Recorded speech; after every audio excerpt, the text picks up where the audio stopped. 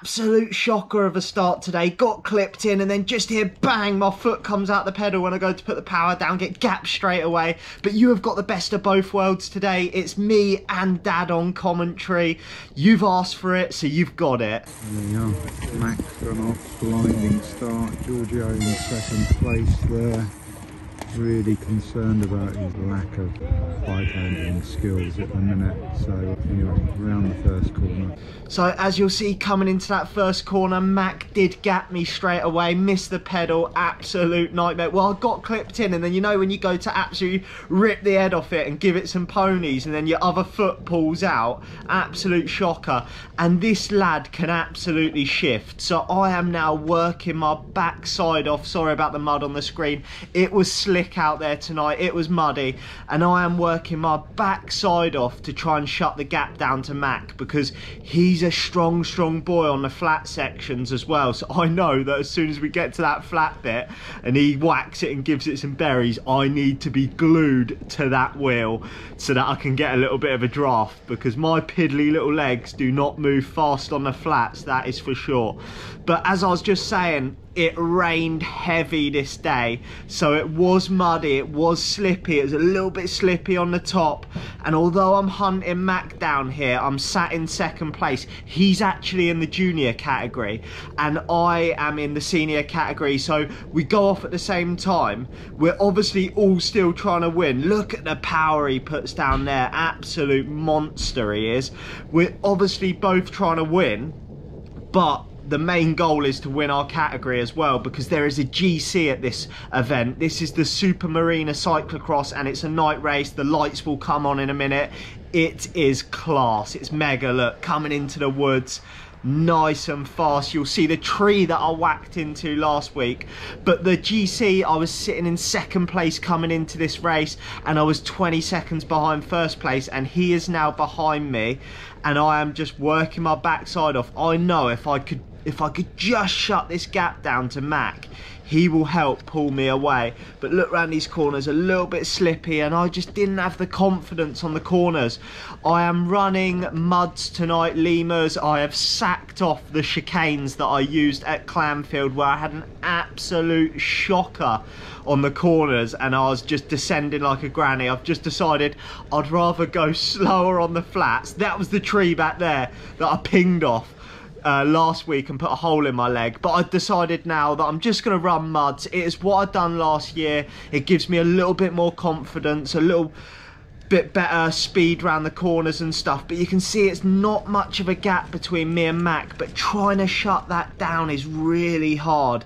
Like on the road bikes you can you can shut these gaps down pretty easily but on cross a 10 20 meter gap can be really hard to shut down there. You can see third place. So we have got a little bit of a gap to third place. So I'm just thinking I'm trying to shut that gap down to Mac and I'm also trying to make sure I win the seniors race this week and I move up either get closer to the top of the GC or maybe even take the lead in the GC but these corners were a little bit slippy round there look at the power he puts down at the corner every corner he was just absolutely ripping my legs off and I was just hanging on for dear life at this point. Heart rate's already nice and high. Look at him out the corner, smash, smash, smash.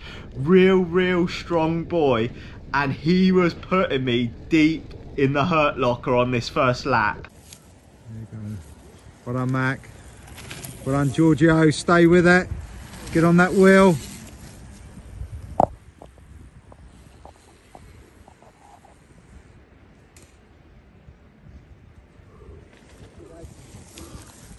third place going through there. Mac just coming round. There's Giorgio.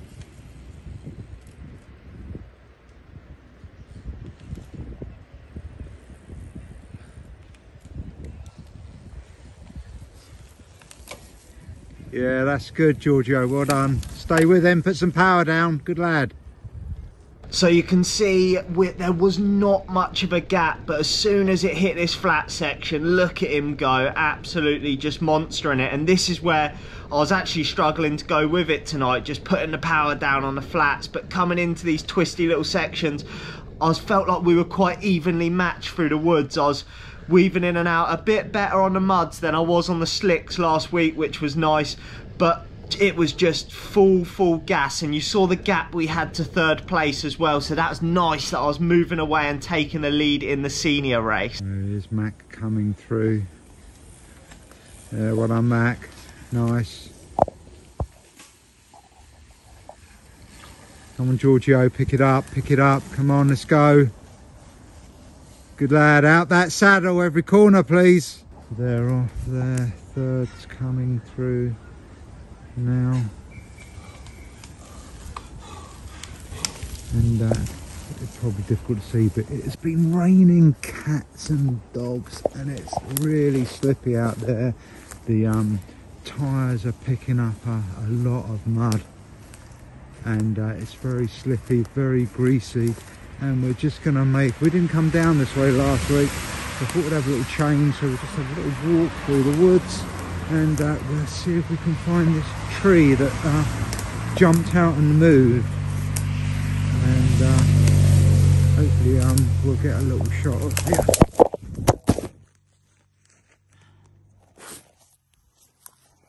And uh, watch out for the logs.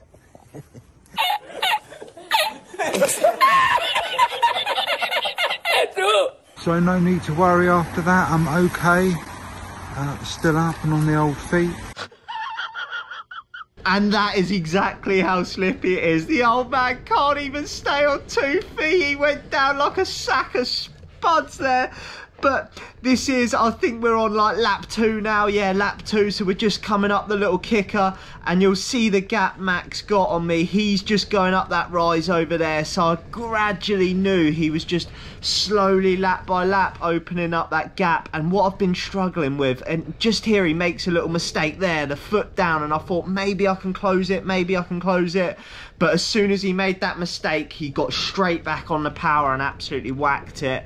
And it really is hard to shut them gaps down. You can't make mistakes off the line like that because you'll see here a lap later I could see that he had just opened it up a little bit more and just there again every lap it was opening up and I've been really struggling with that first 15 minutes of this race when he goes and really puts it down I've been struggling to go with that and I feel like if I could stay with that you can see third place just coming through there on the on the left so we've got a bit of a gap. Max starting to gap me now. But I feel like if I could just stay with him for that first 15 minutes that's the bit I need to get used to that real hard full gas acceleration. I'm good at going with it, but I'm not good at, if I do go with it, I absolutely blow my biscuit for the rest of the race. So yeah, your head sort of tells you to rein it in when you want to just absolutely go for it because you know if you do carry on, you will blow up big time. Run into the woods here. That's pretty much what you'd be going into. Section like that. And this camera's quite good actually at uh, picking up glass. There's a few roots and uh, you can see a real good fast pace going through the woods as well, which is uh, really good to see. Oh, and there's Giorgio. Go on, Giorgio, get on with him. So he's really nice and easy to see because the uh, the green tint on his uh, light. Not doing too bad actually, not too far behind Mac. I thought it'd be a lot further behind Mac because these youngsters are so good at cornering getting a really, that's third place coming through now, so they've got a really good little gap. So there he goes there. Yeah, and the youngsters, they just corner like the bike is on rails and uh, Maccabee, absolutely no exception. I'm not sure how old he is, he's, he's probably like 16. Actually, he's the same age as Ben actually, so he is, I think he could actually be 15. And um, known Mac for, oh, I don't know, maybe since he was five or six years old racing. And uh, they can just go around these circuits like it's on a, a, a train sort of. It's quite unbelievable the bike handling skills they have got. So we're just coming down to this corner here. Just do the just notice there's a couple of laps. He's just making a real meal out of this corner. Well, it, looks like he's making a meal out of this corner. So I don't know whether he's coming in with too much I'm not sure. So we're just trying to just coming along now. To see if there's any feedback we could give him, what he might be doing wrong. And so here he comes now. And yeah, foot out. That's that's what it was. He's put his foot out coming into that corner. I couldn't quite work it out. We will discuss it later. So he's obviously concerned about slipping out, falling off. He's obviously pushing really hard to try and get back on on back of Mac. But yeah, sometimes the harder you push, the worse you make it. He really needs to improve. And he, he did actually say he's been doing so much road cycling and no mountain biking uh, that his bike handling skills are, are really rusty. Note to self really that, you know, uh, before the cross season starts, really been should have been riding the cross bike and a little bit of mountain biking just to try and um, uh, hone those skills back in because yeah, you don't use it and you lose it I suppose. Yeah, so Dad is 100% right. Round the corners and that, it is sloppy, foot out, lack of confidence. And I really just didn't work on the basics enough this year. And that is something that I need to work on over the next couple of weeks. I'm hoping with a bit more time doing these races, the Wessex League, it'll all start to come back. But I was just trying to put down the power. Once you start hitting back markers, mistakes can happen. So I'm still absolutely whacking it because I'm trying to take the lead in the GC. And I'm also thinking if Mac makes a mistake, I can close it down and catch. What every rider loves to Giorgio just coming around there. They drop back a little bit more, but pretty good performance, especially these worried um, stepping out. And I've got more confidence to come as the mud starts to be more regular feature. Go on, big last lap, George. Big last lap. So there we go, coming into the last few corners of the last lap. I've managed to cling on to second place. Mac pulled away. I think he beat me by 28-ish seconds. But the good news is the I was the reason why I was putting it down and putting the work in now is because I wanted to take that GC lead, and I think I overturned the 20 seconds. I haven't seen the GC standings, but I beat the guy that beat me last week by 1 minute 30 so super happy at that we're just going to wrap it up show you Mac coming through now yeah well done Mac there you go, so there's the leader, Mac, across the line. Two in a row. Giorgio just over there. Yeah, well done, Giorgio. So here he comes. It's uh, second place today for him, but then it might be first actually if uh, just Max in a, a younger. Is that first place then? That's tough. Is that first place for you? Yeah, but Mac beat me. Yeah. He got. Did you see my start? My missed my pedal. Oh right, I didn't Foot come that. out. He got a really good start. I couldn't close that after. Yeah. Powerful on the flats.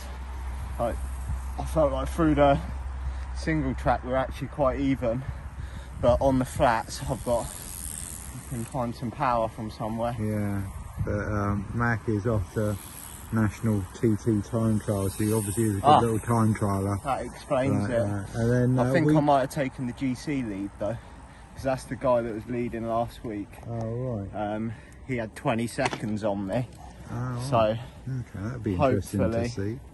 And also, we did a little bit of footage because um, we saw you going into the wood section over there, unclipping your foot, looking a little bit um, Ah, shocking. cautious going in there. I So, didn't want to crash this week. No trees were harmed in the making of this video.